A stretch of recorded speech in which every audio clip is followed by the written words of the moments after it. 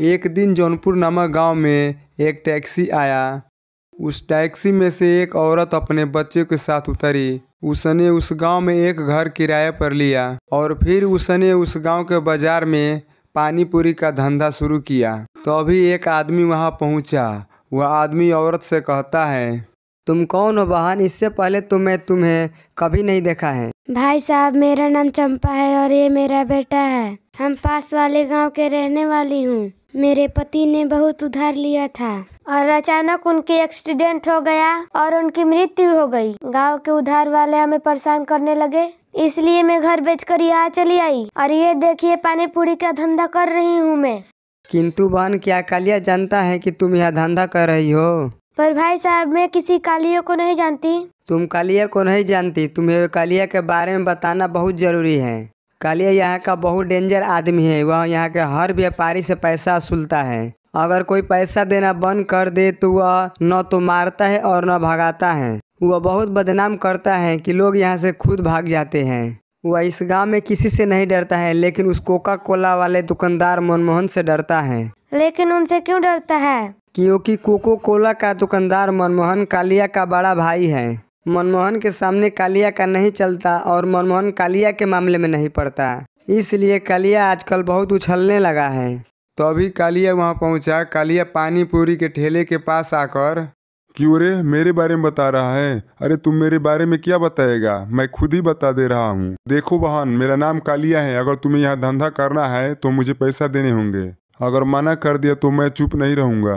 भैया मैंने तो धंधा आज ही शुरू किया है। मेरे पास आपको देने के लिए पैसे नहीं है। आप चाहे तो ये पानी पूरी खा कर जाइए। कालिया मान गया और चंपा का पानी पूरी खाकर चला गया और कालिया रोज रोज आकर चंपा से पैसा वसूलने लगा।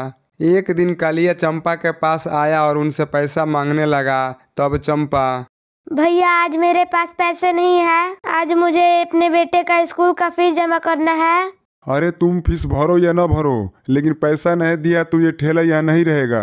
मम्मी और हम धंधे कर रहे हैं। तो आप बीच में अकल धन क्यों ले ला रहे हो?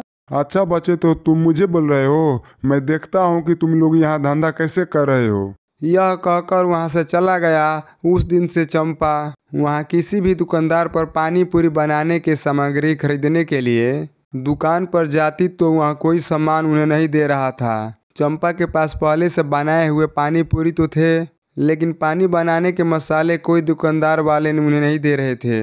वे सब लोग कालिया के डर के मारे कर रहे थे। चंपा बहुत दुखी हुई, तभी कालिया का बड़ा भाई मनमोहन वहाँ आता है।